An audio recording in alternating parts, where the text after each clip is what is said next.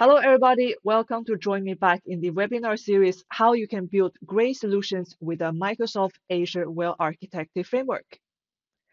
Today, we're going to explore together the very last pillar we have in the framework itself, which I believe is a topic on top of mind for all of us, security. My name is Jing Liu, and I'm a cloud solution architect working in the partner organization at Microsoft Sweden.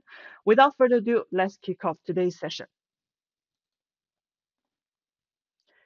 No need to stress more, security is definitely one of the most important aspects of any architecture we're designing. Ensuring that your business data and your customer data they're secure is very critical. A public data breach can really ruin a company's reputation as well as cause significant personal and financial harm. That's why today we're going to learn all about the security pillar of the Azure Well Architected Framework. First thing first, I would like to highlight that security is definitely not a new concept that emerges together with the cloud technology, but it has really been there for decades. However, I will also argue that the nature of security, as well as people's perception of that, have really changed over the years. And some of the assumptions we built on the old models, we definitely have to revisit them and adapt them to the new environment that we are operating in. So basically, we can say that today, organizations, they need a new security model that effectively adapts to the complexity of the modern environment and embraces the mobile workforce and protect people, devices, applications, and data whenever they are located.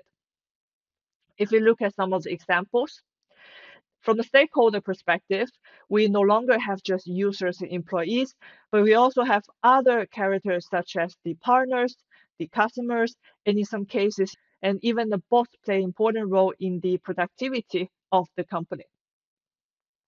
The cooperate managed devices are replaced by more and more devices that are not being managed. For example, many companies are using bring your own devices policy, and we also have some other IoT devices running on the edge. And as another result of the expanding perimeter, the on-prem apps can no longer be taken as a prerequisite, but we should just accept that now we are seeing an explosion of cloud apps that are no longer con being constrained by the corporate networks. And they are running on all sorts of infrastructure technology. A lot of them are running containers, meaning that it's no longer monolithic or tightly coupled infrastructure that we are seeing. And last but not least, it is not enough to just rely on local packet tracking and looking at the logs to identify if there are anything malicious that are harming my environments. But uh, the security operating center, they are or they might be drowned in an ocean of signals and uh, from which they need to identify which ones are the uh, priorities they should really focus on and which ones are actually false positive alerts that they uh, should simply ignore. So short summary of that, the internet has really started to enable us to really transform how we do things. And now our user population spans across employees, partners, and contractors, and they're all bringing their own devices. We are storing sensitive data in transformative cloud services, and we have connected devices deployed in our supply chains, in our fields, factories, and buildings. And last but not least, we're even sharing users' devices applications, and data with our partners and vendors. All these facts lead to a conclusion that we can't go back to the old time when security focused solely on a strong perimeter defense to keep out malicious hackers.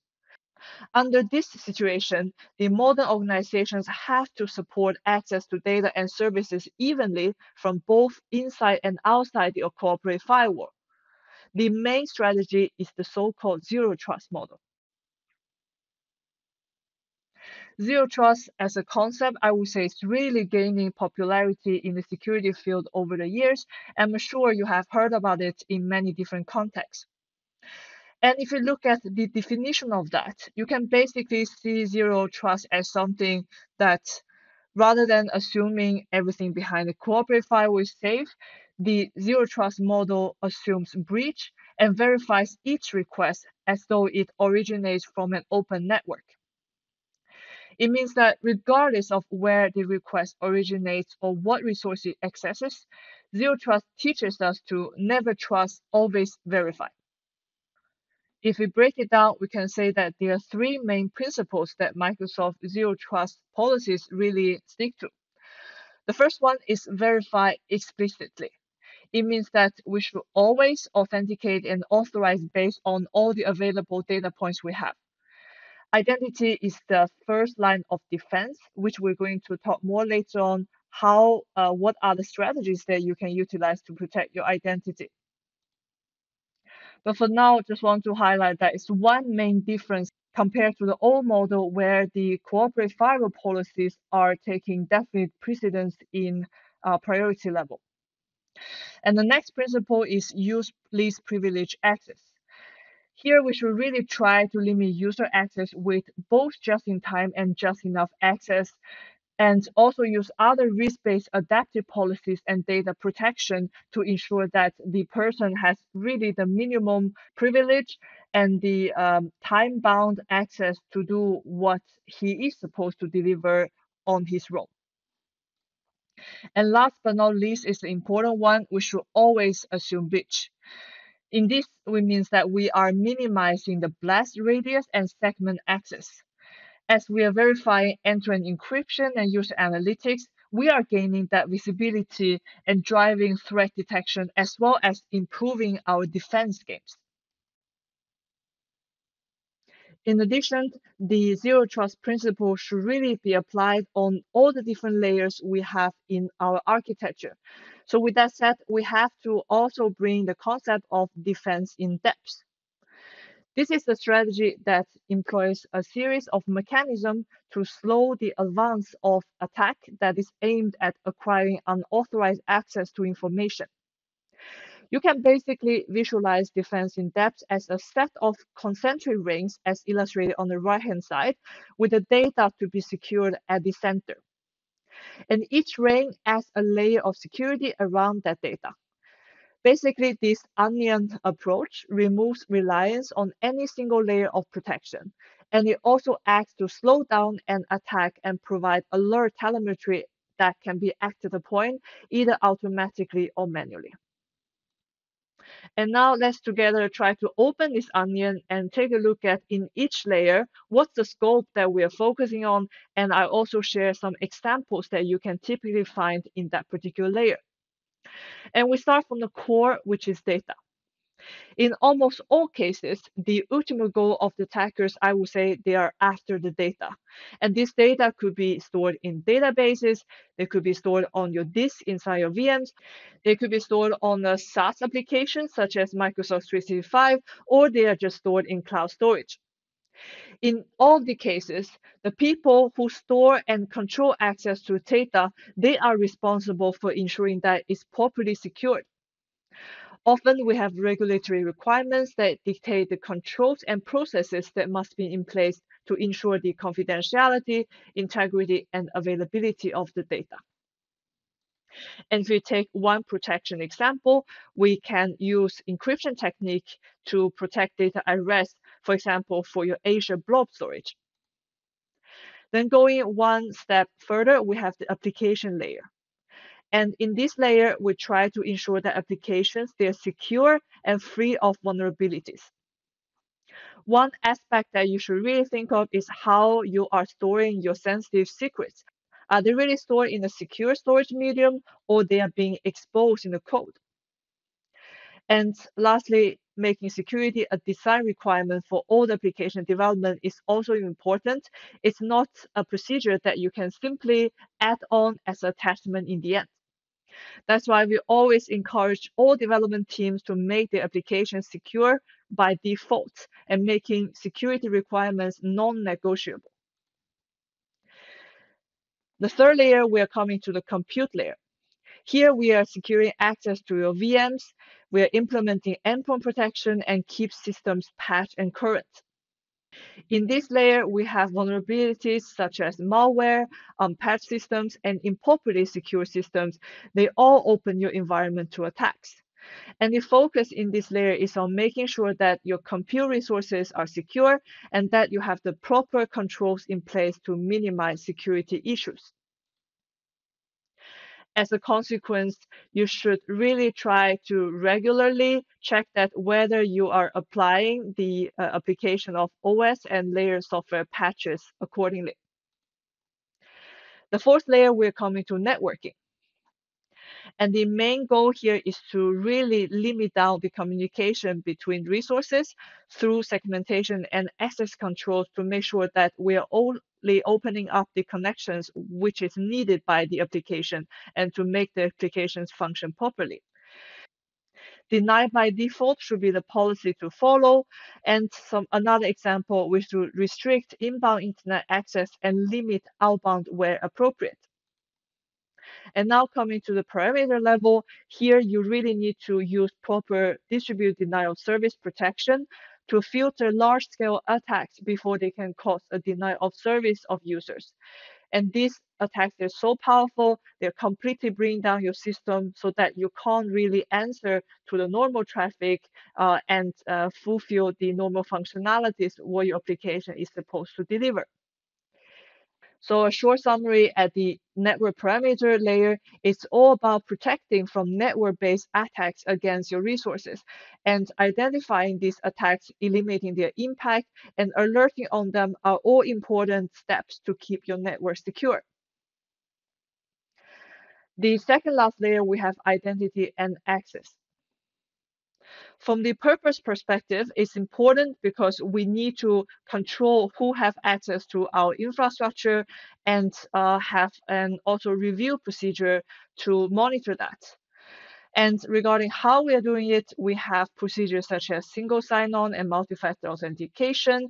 And uh, of course, auditing the events and the changes are very important in order to understand what is going on.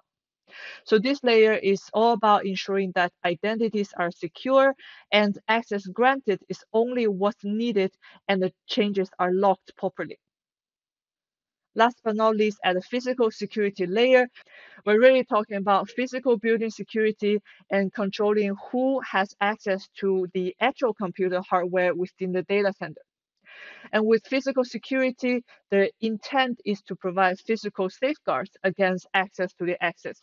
And this ensures that other layers can't be bypassed and that loss or theft is handled appropriately. An example is the application of biometric access controls to enter the Azure data center. But I would say this layer is mostly the responsibility of Microsoft. Continue on that last note, I would like to share some comments on the shared responsibilities in the cloud environment. As we see the computing environments, they start to move from customer controlled data centers to cloud data centers, the responsibility of security are also shifting. In the old on-prem setup, as you can see, the customer is responsible throughout all the different layers we have in the architecture. Then moving to cloud, depending on if it's IaaS, PaaS, or SaaS services the customers are using. Microsoft, in this case, the cloud provider, are taking over part of the responsibility, uh, everything definitely from the physical data center and networking layer, and then to different degrees uh, above the different layers that you see on the top. And to add a note on that, the threat landscape is evolving in real time and at a massive scale. So a security architecture is never complete. We can't have the confidence to say that, hey, now it's enough, my system is secure, and I'm not going to do anything about that. In reality, we should always strive for continuous improvements, and that's an effort required both from the Microsoft side as well as the customers. Um, we both need ability to respond to the new threats intelligently, quickly, and at scale. To help the customers, we are releasing many different tooling on our platform, which on a high level provides customers with unified security management and advanced threat protection to understand and respond to security events on-prem and in Azure. One of the platforms that we're going to look at later today is the Azure Security Center. In turn, the customers, they have responsibility to continuously re-evaluate and evolve their security architecture accordingly in this journey. All right, so now after we have set the stage for what are the overview and the main focus areas of security on Azure, I would like to go a little bit deeper into the specific areas and look at some of the concrete technologies that you can utilize and make your system more secure.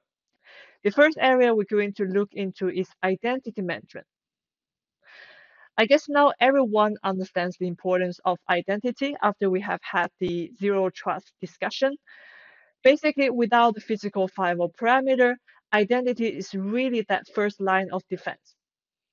Here, we'll discuss identity as a security layer for both internal and external application and the benefits of single sign-on and multi-factor authentication to provide identity security.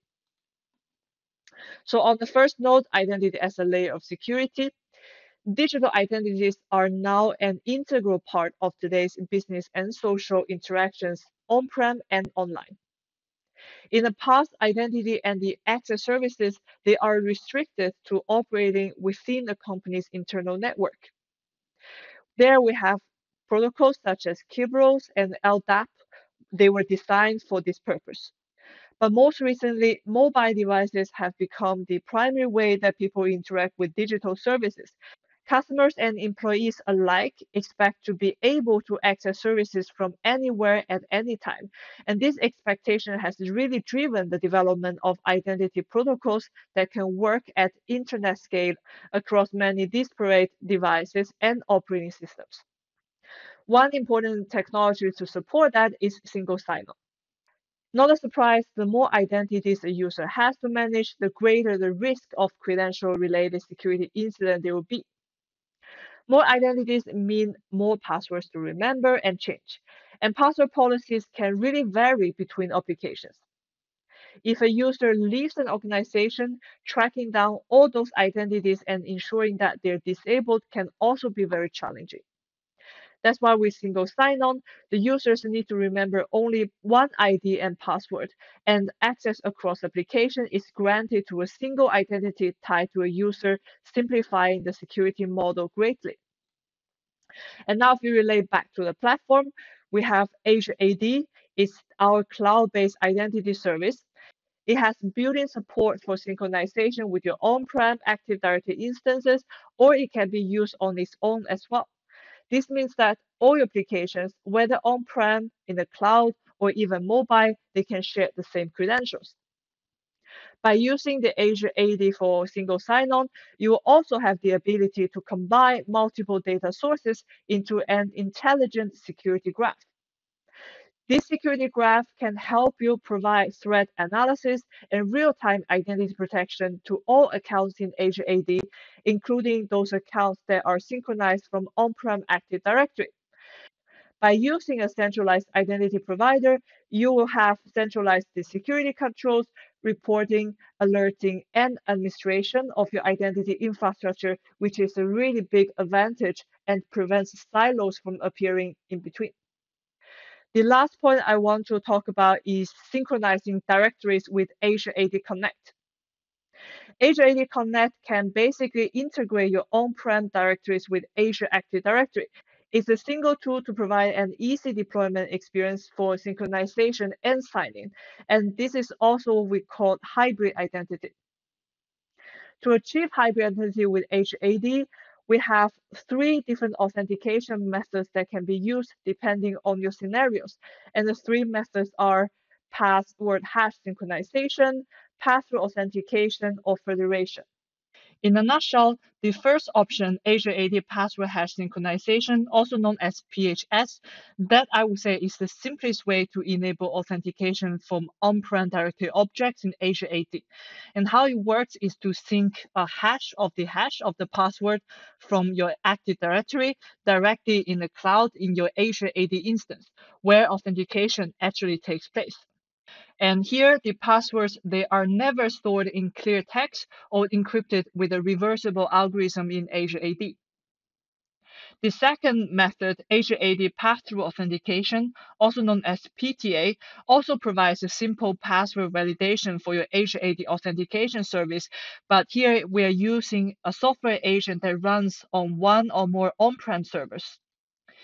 These servers validate the users directly with your on-prem Active Directory, which ensures that the password validation doesn't happen in the cloud.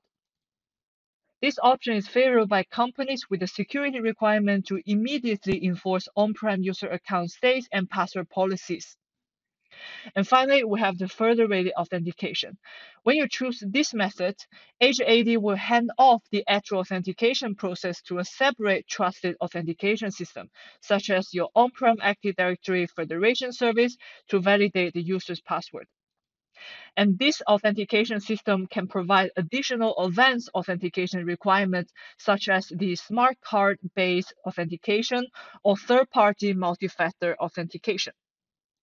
For your reference, if you're unsure which method would suit your customer or your organization the best, you can leverage on this decision tree that is produced by Microsoft to help you make the best decision. And now let's move on to another topic, which is authentication and access. There are a couple of subtopics I would like to cover here. First one being the multi-factor authentication, also known as MFA. I would say today more and more users are familiar with MFA because it is very widely used in many different platforms. Basically, it provides that additional security for your identities by requiring two or more elements for full authentication. And these elements, they fall into three categories. First one being something you know, meaning that it could be a password or the answer to a security question. Second being something you have, and that could be a mobile app that receives a notification or could be a token generating device. And last but not least, something you are. And uh, it could be some sort of biometric property, such as the fingerprint or face scan used now by many mobile devices. Using multi-factor authentication, I would say, is a very effective mechanism that greatly increases the security of your identity by limiting the impact of credential exposure. An attacker who has a user's password would also need to have possession of their phone or their face in order to fully authenticate. Given that the benefit is so huge, organizations should really enable multi-factor authentication wherever possible. On the Microsoft platform, Azure AD, we also have the multi-factor authentication capabilities built in, and it integrates very well with other multi-factor authentication providers as well. Basic multi-factor authentication features are available to M365 and Azure AD administrators for no extra cost. And today, the available verification methods include the Microsoft Authenticator app, you can use the OAuth software token. You can use the SMS or the voice call. Then together with that, you can also leverage on what we call the conditional access policies. Conditional access policies, along with multi-factor authentication, really ensures that additional requirements are met before granting access to a user. And it also efficiently adds another layer of protection. For example, you can have the granularity that to block logins from a suspicious IP address or denying access from devices without malware protection, and in this way limit access from risky sign-ins. Azure Active Directory provides conditional access policies based on group, location, or device state. The location feature allows your organization to differentiate IP addresses that don't belong to the network, and it satisfies the security policy to require multi-factor authentication from all such locations. For example, in the illustration, you can see user requests to access the on-prem and the cloud applications are first checked against a list of conditions. The requests are either allowed access forced to go through multi-factor authentication, or blocked based on the conditions that they satisfy. And for the last topic, we have the option to help you secure your legacy application. Maybe your customers' environment, their employees require secure remote access to their administrative applications today hosted on-prem. Users currently authenticate to the application by using Windows integrated authentication from their domain joined machines behind the corporate firewall. Maybe there's plan to modernize this architecture, but the timeline is very short. then you should really consider using the Azure AD application proxy, which allow users to access the application remotely without any code changes. So in a nutshell, the Azure AD application is very simple, it's secure, and it's cost effective. And what do we mean by that? You don't need to change or update your application to work with application proxy, and your users get a consistent authentication experiences. From a security perspective, when you publish your application by using the Azure AD application proxy, you can take advantage of the authorization controls and security analytics in Azure. You get that cloud scale security and Azure security features like conditional access and two-step verification. And from the cost perspective, the application proxy works in the cloud, so you can really save time and money. On-prem solutions typically require you to set up and maintain perimeter networks, edge servers, or other complex infrastructures, which are not the case here.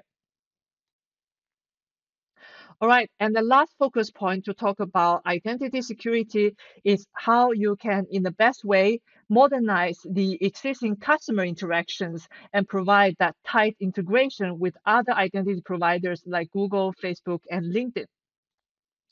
To support that, we have something called the Azure AD B2C, which is an identity management service that's built on the foundation of Azure Active Directory.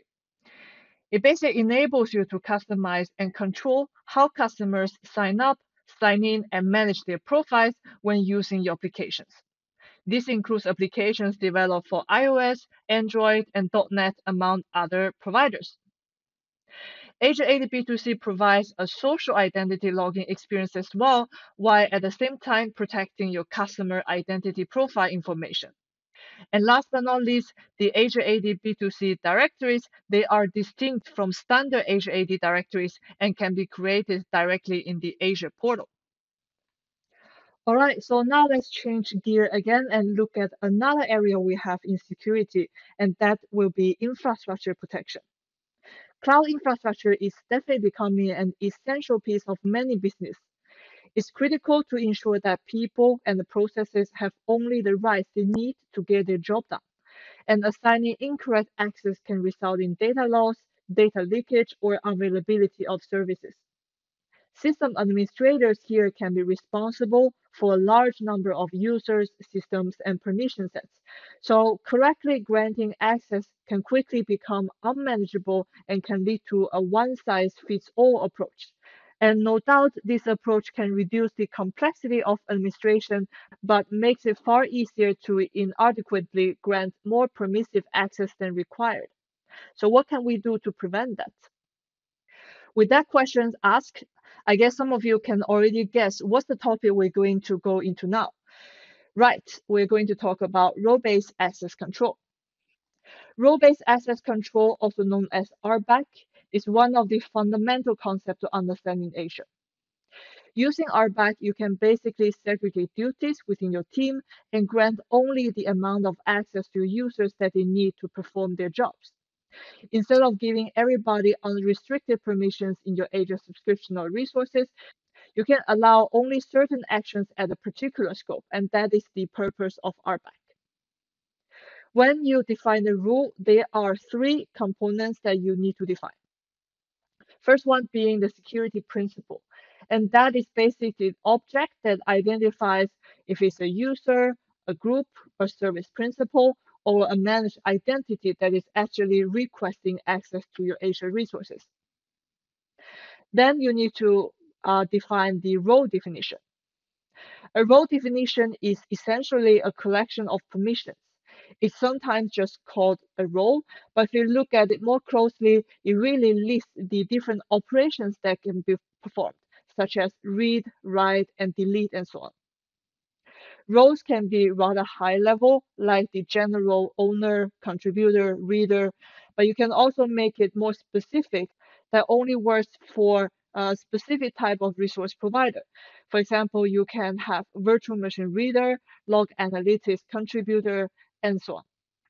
There are already hundreds of different built-in roles in Azure AD that you can simply take it out of the box, but you can't really find anything that matches your organization's requirement, you can also create customer roles. But do check that if there's already a built-in role that can support that.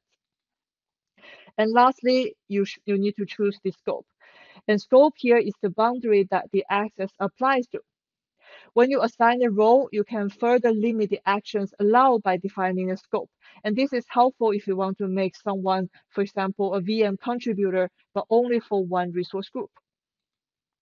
If you take a closer look at it, there are these four levels that you can actually assign your RBAC rule on. And this is also we call the hierarchy in the Azure management plan. We have from top down, the management groups, subscriptions, resource groups, and resources. And here I can highlight that roles assigned at a higher scope, like an entire subscription, are inherited by all the different child scopes. Meaning that if you make a person, let's say, for example, the owner of an entire subscription, then this person by default will also have owner permission on all the different resource groups and the resources underneath that. In addition to managing Azure resource access with RBAC, a comprehensive approach to infrastructure protection should also consider including the ongoing auditing of role members as the organization changes and evolves. And to help you with that, we have another complementary service called the Azure AD Privileged Identity Management, also known as AAD PIM. With that, you can manage, control, and monitor access to important resources in your organization. And this includes access to resources in Azure AD, Azure, and other Microsoft online services like Microsoft 365 and Microsoft Intune. One of the biggest advantage of using PIM compared to a normal RBAC role assignment is to allow the just-in-time privileged access to your Azure resources and Azure AD. By default, if you say, let's uh, grant the owner permission for this subscription to a user A, this user will get the owner permission permanently. And in the worst case, if this account is compromised and the account falls into the hands of attacker, the consequence can be very severe. With PIM, you can actually make that permanent assignment to eligible assignment, meaning that whenever the user needs to perform tasks that requires owner permission, he or she will first need to elevate herself to that role, and this can require an approval process in between. And even after that, he or she will only get uh, let's say two hours to complete that task, after which the uh, assignment will be invalid. In this case, the risk of having this account compromised is greatly reduced. In addition to the just-in-time privileged access to Azure AD and Azure resources, plus the approval process, we have other advantages brought by PIM, including enforcing Azure AD multi-factor authentication to activate any role. You can let the user always put in a justification to understand why the users are activating the role. And you can also have stakeholders to get notifications when privileged roles are activated.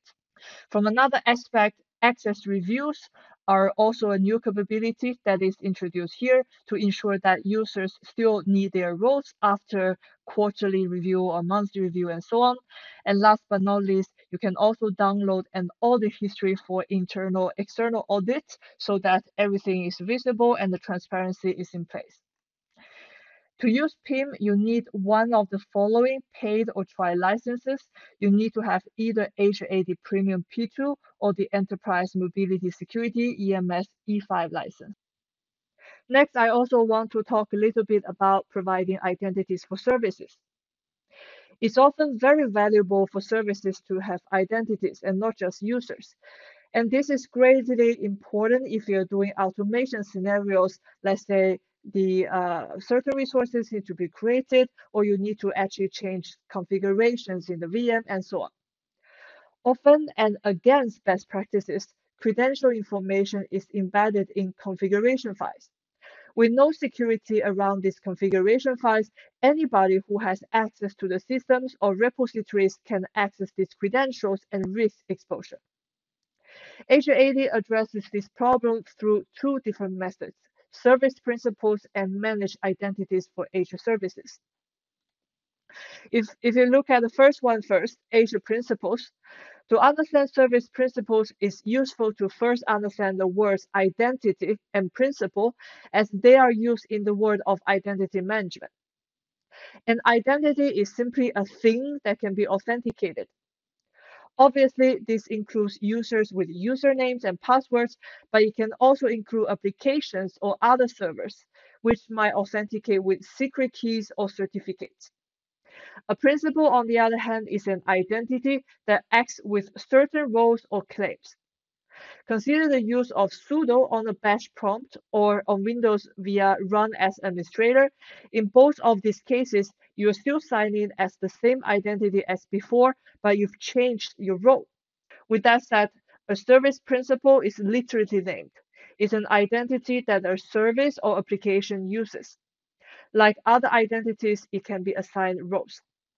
For example, your organization can assign its deployment scripts to run authenticated as a service principal. If that's the only identity that has permission to perform destructive actions, the organization has gone a long way toward making sure that it doesn't repeat the accidental resource deletion. Then we have the other option, manage identities for Azure resources. The creation of service principals can be a tedious process. There are also many touch points that can make maintaining service principals difficult. Managed identities, on the other hand, for Azure resources are much easier and will do most of the work for you. A managed identity can be instantly created for any Azure service that supports it. When you create a managed identity for service, you are creating an account on the Azure AD tenant, and Azure infrastructure will automatically take care of authenticating the service and managing the account. You can then use that account like any other Active Directory account, including letting the authenticated service securely access other Azure resources. When we talk about infrastructure security, there's no way that we don't mention one of the most important tooling we have on the platform, Azure Security Center. Azure Security Center is that unified infrastructure security management system that really strengthens the security posture of your data centers, as well as providing the advanced threat protection across your hybrid workloads in the cloud, whether they are running in Azure or could be running on-prem or the other public cloud service providers' data centers. In a nutshell, we can group the features of Azure Security Center into two main buckets as illustrated on this slide. We can look at them as the preventive side of the story or the reactive side of the story. If we first take a look on the right-hand side, there we have the so-called Cloud Security Posture Management module. Basically, it will do analysis of your environment, your infrastructure, understanding what is your current security hygiene or your security posture. And the result you'll be getting is a security score, together with a list of concrete recommendations what you can do in order to get even higher score. And this is very efficient to let you detect whether there are presence of any security misconfigurations. For example, if it detects that you are actually not enabling MFA to control your user sign-in, it will give that as a recommendation. And after you have taken the remediation, you will have higher score. At the same time, you can also do compliance check with the built-in policies, as well as see what you have in your asset inventory today. Last point to highlight, the preventive side of story, the security score, that is completely for free, so there's no reason not to use it. Then we have the left-hand side, the cloud workload protection, and it is also called the Azure Defender. This part really brings that advanced and intelligent protection of your Azure and hybrid resources and workloads in place. It is important to have security hygiene, but it's also very important to have an efficient detection and remediation mechanism when attack actually happens. So with Azure Defender, we are having concrete threat detection and remediation capabilities, which are tailored for your different workloads on Azure, everything from VM, databases, storage, key vaults, SQL database, and so on and so forth. And you will get the most comprehensive protection you need to protect your infrastructure. In addition to the building policies compliance evaluation, with Azure Defender, you can also add custom policies and initiatives. For example, you can add regulatory standards such as uh, GDPR, NIST, Azure CIS, as um, and together with some others for truly customized view of your compliance requirements.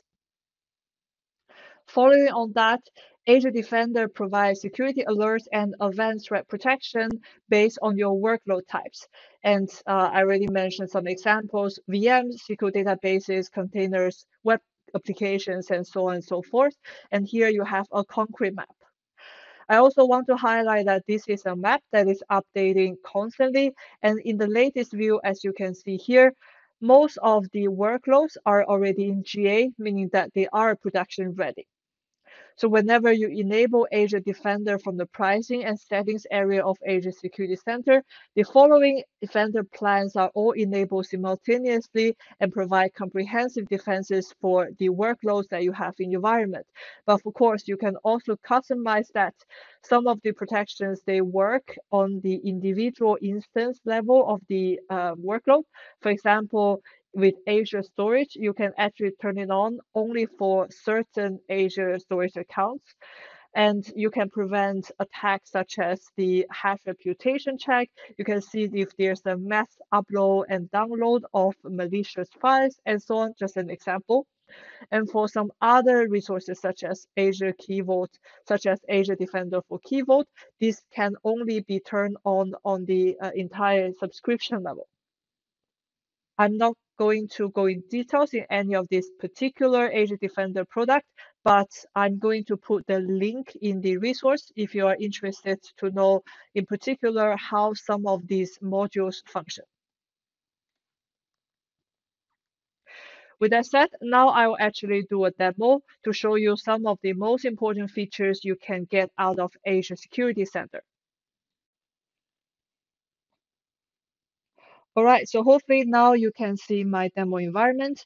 I have already entered Security Center and uh, I'm using one subscription to get the data from. On the overview page, I can already see a very clear indication what is my secure score, and that is the uh, preventive side of the story that I was talking about.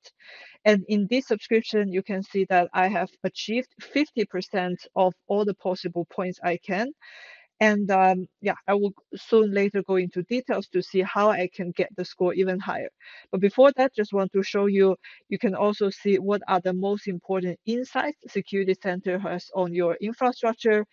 And from the Azure Defender perspective, what are the different alerts that are being triggered uh, in the recent time span? And other than that, you can also see a dashboard of how you're doing with your regulatory compliance status. But now let me first go to the secure score. And I'm choosing my subscription. So now you can see uh, I have my score 56%. And then what are the different recommendations I'm getting? As you can see, I have completed 33 out of 53 recommendations. So there's definitely room for improvement. So now going to details, I can uh, just take some of the examples. I have already enabled MFA. For this point, I'm green. But then for the second point, uh, secure management ports. And there I can see that some of my machines are not following the recommendations. I can uh, I need to remediate them by maybe closing down the management ports on my VMs when we're not using them. And then let's take on this one, re remediate vulnerabilities. I currently don't have vulnerability assessment solution enabled on six of my seven VMs that are being identified on these machines. So let me take this recommendation and see what I can do to, to uh, remediate that. So when I go into this particular recommendation, I can see the detailed remediation steps, what I can do. And actually, there's also this quick fix logic. So if I click here, I will get the script to let me know uh, how I can uh, remediate this problem the fastest ways possible. And let's look at another one. We have, uh, let's take this management port should be closed on your VMs. And I'm again getting the detailed remediation steps, what I need to do in order to uh, fix this recommendation. All right, and now I'm moving on to another module. I'm going into the regulatory compliance. As you can see, I have already enabled some of the uh, compliance standards. And I can show you, for example, for the PCI DSS, these are crucial for my financial customers. And these are the different regulatory compliance that are being identified by the, uh, the standard itself. And we have already the mapping to let you identify how the customer is doing regarding the detailed clauses. And if it's showing red, I can also go into detail to see how I can, what is the customer's responsibility in order to fix that. And last but not least, let me go into Azure Defender and show you the other side, the, uh, the advanced cloud protection workload functionality. So in Azure Defender, you can see I have already turned on my protection for my servers, Kubernetes, my app services, Key Vaults, SQL servers, storage, and so on. And this is the overall alert uh, dashboard that I can refer to but I can actually directly go into the security alerts feature and see what I have uh, on my machine. For example, here I can see I have a suspicious authentication activity alert being identified on my uh, Windows server enabled by Azure Arc. So this is also showing that Azure Security Center works not only for Azure native resources, but also on the hybrid resources that are being enabled using Azure Arc. So I want to see the details of this alert. You can show me uh, when this alert actually happens, what's the number of failed authentication attempts, and how I can uh, take action to mitigate this threat. And this is uh, similar to the rec recommendations. You're not just given a status what is going on, but you're provided with concrete steps what you can do to actually make it better. And other than the manual mitigation, you can also trigger automated responses by using a runbook, or in this case, the Azure Logic app, in order to fix the issue as soon as possible. Azure Defender comes also with some other advanced protection. For example, with the just-in-time VM access, there you can uh, configure some rules to make sure that a VM's uh, management port, let's say the RDP connection for Windows Server, is only open for a certain amounts of time when a user requests that. And this can drastically decrease the risk that this uh, port is being compromised by an attacker. And that will summarize a short tour of the Azure Security Center. All right, now let's come back to the slides. And uh, we also officially leave the topic of infrastructure and start exploring another very exciting one, data security. I guess no one is against the idea that data is an organization's most valuable asset. And when we talk about how you can prevent the data, I'm sure one of the concepts that definitely will be brought up is encryption. Encryption serves as the last and the strongest line of defense in the layered security strategy for data. And here we'll take a look at what encryption is, how to approach encryption of data, and what encryption capabilities are available on Azure. And if we start from the beginning, encryption is actually nothing but the process of making your data unreadable and unusable. To use or read the encrypted data, it must be decrypted first, which requires the use of a secret key. And there are two top level types of encryption, the symmetric and the asymmetric encryptions. If you first take a look at the symmetric encryption illustrated on the left-hand side, in this way, we are using the same key to encrypt and decrypt the data. Consider a password manager application. You enter your passwords and they're encrypted with your own personal key. When the data needs to be retrieved later on, the same key is used and the data is then decrypted. And then with the asymmetric setup, we are using two different keys in the process, the public key and the private key. Either key can encrypt but can't decrypt its own encrypted data. To decrypt, you need the paired key. And asymmetric encryption is used for things like TLS and data signing. Both symmetric and asymmetric encryption play a role in properly securing your data. And if we then look at encryption from another categorization perspective, you can approach it in two ways, either encryption at rest or encryption in transit. And first, let's take a look at encryption at rest. Well, data at rest is the data that has been stored on a physical medium. And this might be data that is stored on the disk of a server, data that is stored in a database, or data that is stored in the storage account. Regardless of the storage mechanism, encryption of data at rest ensures that the stored data is unreadable without the keys and secrets needed to decrypt it.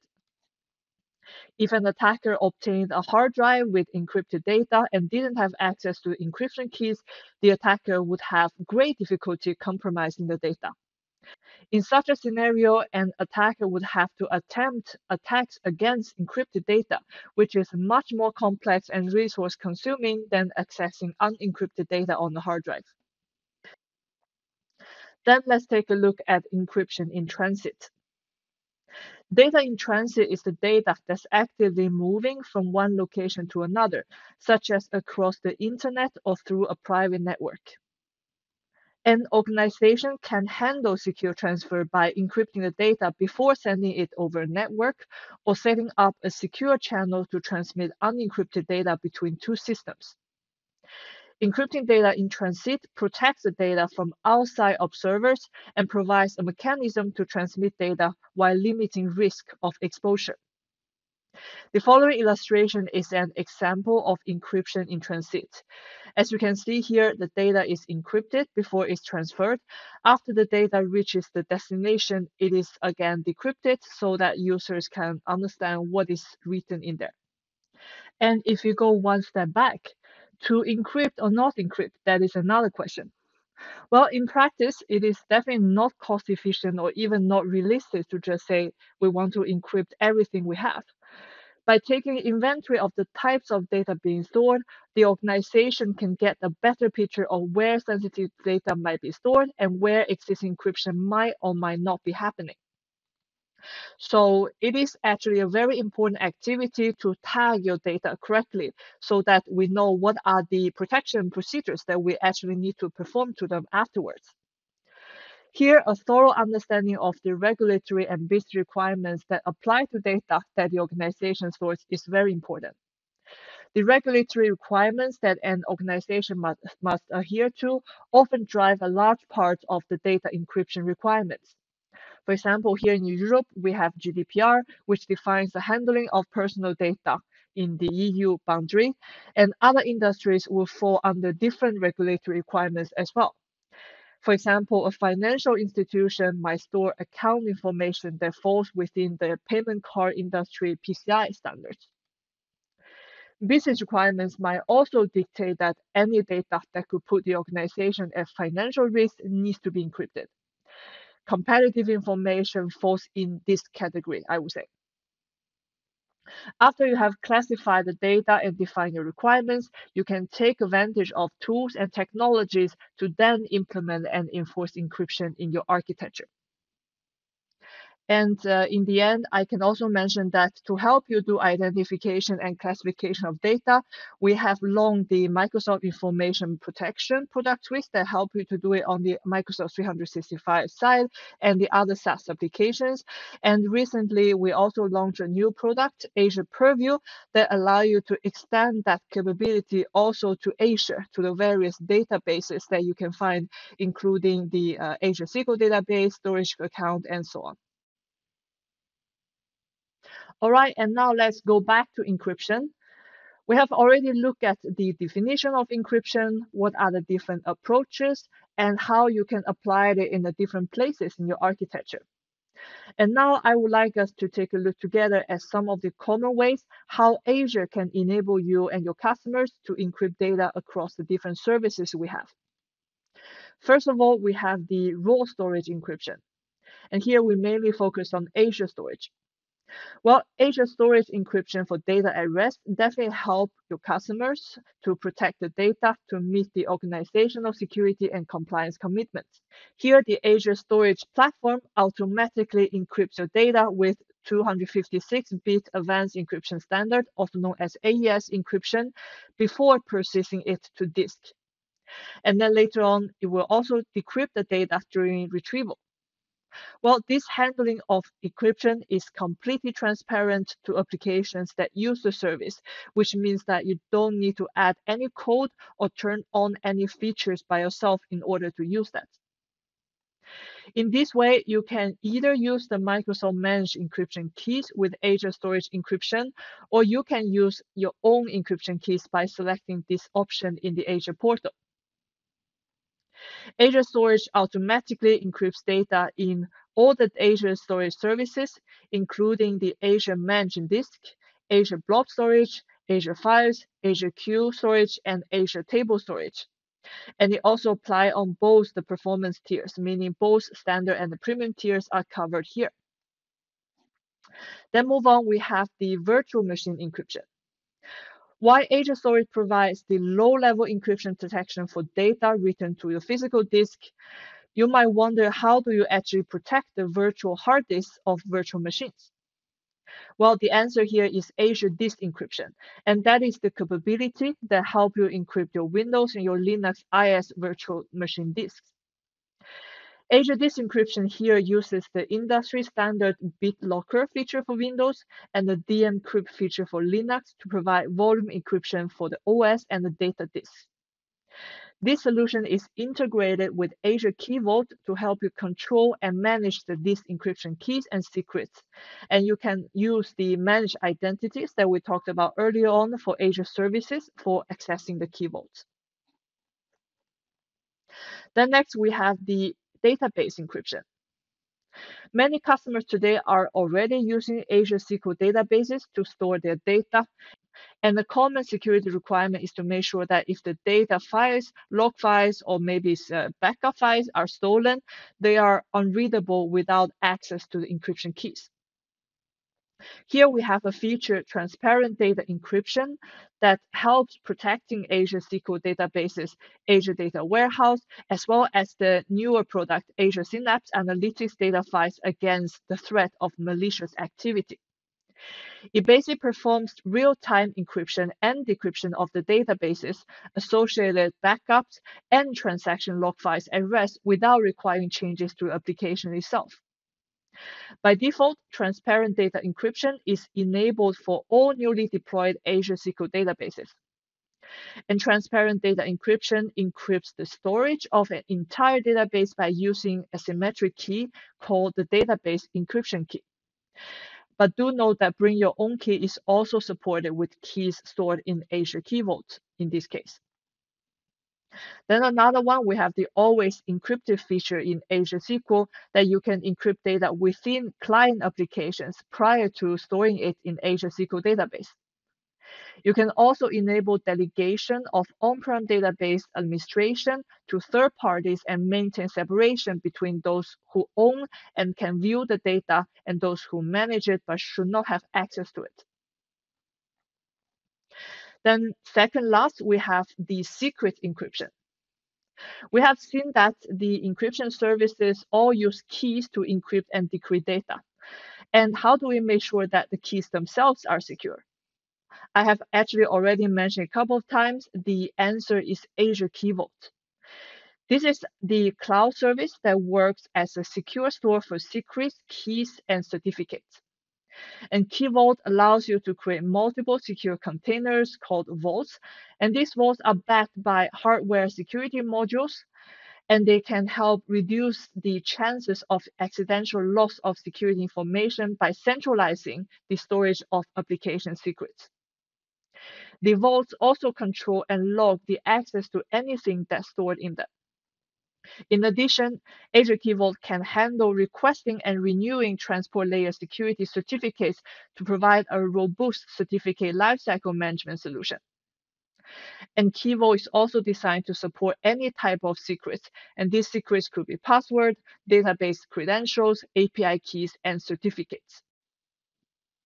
And last but not least, we also have the procedures to let you encrypt your backups. Well, encrypting all your data will not really help your customer if the daily backup of the system are not being taken into account. The customer might be already using Azure Backup to backup data from on-prem machines and Azure VMs. The backups can include files, folders, machine system state, and also the other app-aware data. By default, all the data is stored encrypted at rest, and Azure Backup encrypts local backups by using exactly the same mechanism, the AES-256 that is used for Azure storage, and also a key created from the passphrase configured by the administrator. That data is securely transferred to Azure through HTTPS. The already encrypted data is then stored on the disk. Now leaving encryption behind, we are moving on again. We are going to talk about network security. Well, securing your network from attacks and unauthorized access is an important part of any architecture. As part of preparation for its cloud migration, the customers must take the time to plan its network infrastructure.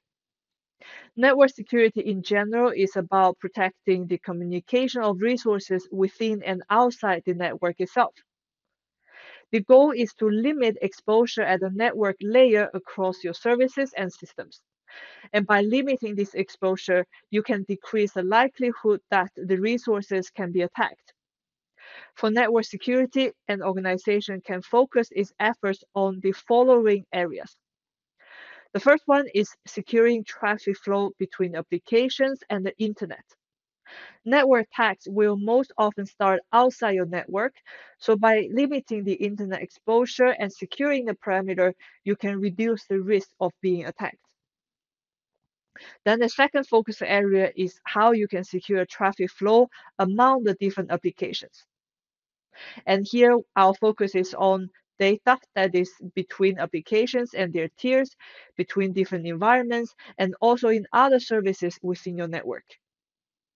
By limiting exposure between these resources, you will reduce the effort that a compromised resource can have, and this can help reduce further propagation within the network. Lastly, we also have the traffic securing flow between users and an application. And this basically limits exposure that your resources have to outside attacks, and it provides a secure mechanism for users to utilize your resources. A common thread throughout this session, you might have already guessed, has been taking a layered approach to security. And this approach is no different at the network layer itself either. It's definitely not enough to just focus on securing the network perimeter or focusing on the network security between services inside a network. A layered approach here can provide that multiple layers of protection so that if an attacker gets through one layer, further protections are in place to limit the attack. And now let's take a look at how Azure can provide the tools for a layered approach to secure your network footprint.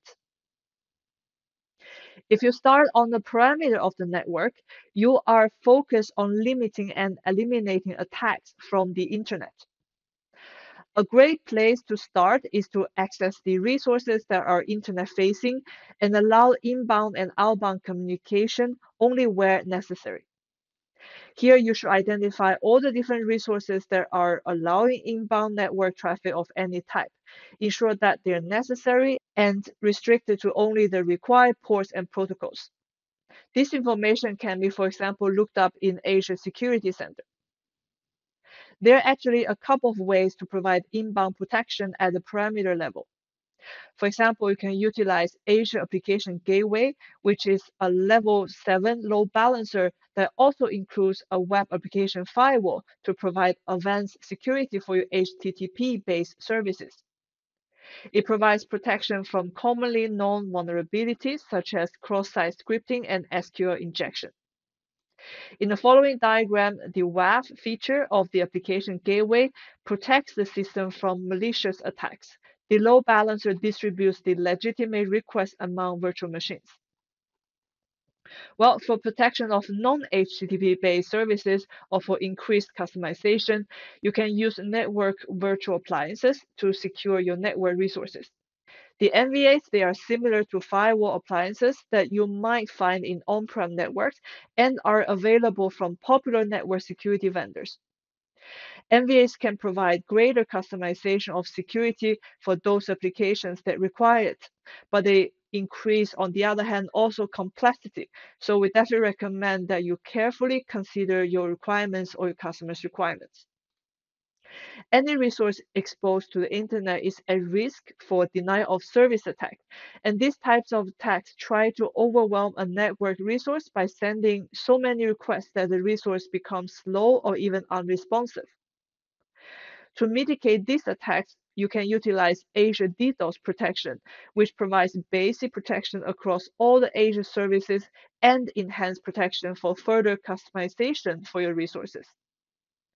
DDoS protection blocks attack traffic and forwards the legitimate traffic to its intended destination. And within a few minutes of attack detection, you'll be notified through Azure Monitor metrics. And now let's take one step in and take a look at what is happening inside a virtual network. Well, here it is very important to limit the communication between your resources to only what is required. For communication between your VMs, network security groups are a critical piece to restrict unnecessary communication. The network security groups, also known as NSG, they operate at layer 3 and layer 4. They basically provide a list of allowed and denied communication to and from network interfaces and subnets. Network security groups, they are fully customizable and enable you to lock down network communication to and from your VMs. By using the NSGs, you can isolate the applications between environments, tiers, and services. The following diagram, as you can see, shows how a network security group restricts the backend and the middle tier from communicating directly with the internet.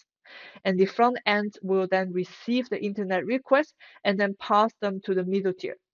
The middle tier in turn communicates with the backend. If your purpose is to isolate Azure services to allow communication only from virtual networks, you can use virtual network service endpoints. With service endpoints, you can secure Azure service resources to your VNet. And securing service resources to a VNet provides improved security by fully removing public internet access to resources and allowing traffic only from your VNet. This technique can help you to reduce attack surface for your environment, can reduce also the administration required to limit communication between your VNet and Azure services, and last but not least, providing that optimal routing for this communication as well. All right, now it's finally time for us to move into the last topic of the security talk. We're going to look at application security. We know that hosting application on the cloud platform has provided many advantages over traditional on-prem deployments in terms of agility and flexibility. While the cloud share responsibility model moves security at the physical layer building and also the host levels under the control of the cloud provider. And attacker who tries to compromise the platform at this level, they will see diminishing returns versus the considerable investment and insight that providers make in securing and monitoring their infrastructure. On the other hand, it's far more effective for the attackers to pursue vulnerabilities introduced at the application level by the cloud platform customers. That's why it's an area that requires also extra attention. In a nutshell, the primary areas that concern customer applications include the following secure application design, data security, identity and access management, and endpoint security. We have actually already talked about some of the topics from the beginning. There's some overlap. And now we're going to continue to exploration and see what is relevant in this area. There's another important framework that is relevant here. It is called the Security Development Lifecycle, also known as SDL. One can see the Microsoft security development lifecycle process during the application design stage to ensure that security concerns are incorporated in the software development lifecycle. Here, security and compliance issues are far easier to address when you are designing an application and can mitigate many common errors that can lead to security flaws in the final product. Fixing issues early in the software development journey is also far less costly. A software project can then use this typical sequence of SDL steps as illustrated in the diagram.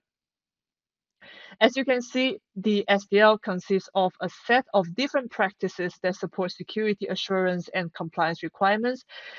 In summary, the SDL can really help the developers build more secure software by reducing the number and severity of vulnerabilities in software while reducing development cost. If you want to know more in this area, you can find a link in the resource list to see uh, what are the details that you can find under these practices. Last but not least, I also want to bring up a couple of common defenses that you can utilize for your application layer. The first one is identity as the perimeter. Well, we have already talked about this, but just to highlight again that identity validation is absolutely becoming the first line of defense for your applications. Restricting access to a web application by authenticating and authorizing sessions can drastically reduce the attack surface area.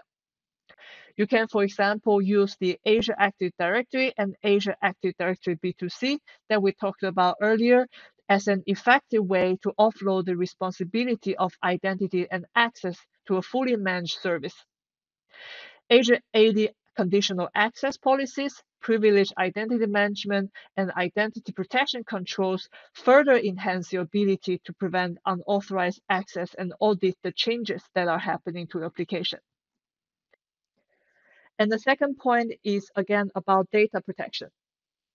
Like I mentioned before, customer data is absolutely the target for most, if not all, the different attacks against web applications. The secure storage as well as transport of data between an application and its data storage layer is very important. So here is key for you to sit down with your customer, first help them to identify what are the sensitive data that they need to protect. And this can greatly depend on what's the industry your customer is based in and what are the different regulatory compliances that they have to respect. And then after that, you can use the different encryption techniques. And then we have other protection as well to help the customers uh, prevent the data from being compromised. Maybe to add one point, uh, and now we're talking about applications. If you are encrypting data, that eh, is stored in Azure Blob Storage, you can actually use the client-side encryption to encrypt the data in memory before it is written to the storage service. And we have libraries that support this encryption available for .NET, Java, and Python. And these libraries enable the integration of data encryption directly into applications to enhance data integrity. The last point to call out is the importance to secure key and secret storage. Separating application secrets like connection strings or password and encryption keys from the application that's used to access the data is very vital. Encryption keys and application secrets, they should never be stored in the application code or configuration files. Instead, you should always use a secure store such as Azure Key Vault. Access to this sensitive data can then be limited to application identities through managed identities for Azure resources. You can also do key rotation on a regular basis to limit exposure if encryption keys are leaked. You can also choose to use your own encryption keys generated by on-prem hardware security modules. You can even mandate that Azure Key Vault instances are implemented in single-tenant discrete HSMs. Okay, and now I would say it's a good time for you to give a clap on your shoulder because we are again arriving at the summary slide of today's session. So basically, today we walked through the many principles of the security pillar of the Azure Well Architected Framework. And this is also the last pillar that we are doing a deep dive in. What have you learned? Well, first we started looking at how you can approach security in your architecture in general through defense in depth and zero trust. Looking only at firewalls or anti-malware, for example, isn't enough to slow down attackers. That's why you should always use a layer approach and address security at each layer. Then we talked through identity management and how identity becomes an integral piece of the architectural puzzle. For example, Azure AD has features and capabilities to improve identity services for your environment. You saw strategies and features to protect access to your infrastructure as the next chapter. Proper protection ensures that the resources you create are administered by only those who should be administrating them. And we also have Azure Security Center as an important tooling that you can utilize to step up your game. After that, we moved on to data security and talked about how encryption is often the last layer of defense against access to your data. By using encryption, you make your data unreadable to anyone without the decryption keys, and you should identify and classify your data, which is a necessary step before you apply any protection mechanism. After that, we talked through securing your network. We looked at ways to secure traffic flow between applications and the internet and described some ways to secure traffic flow among applications. And in the very end, we wrapped up by looking at how you can secure your application security, for example, by securing traffic flow between users and the application. We looked at some of the common defense strategies, as well as introduce you to the Microsoft SDL framework for your developers. As usual, here are a list of resources. You can use the links to deep dive more into the area of Azure security in general.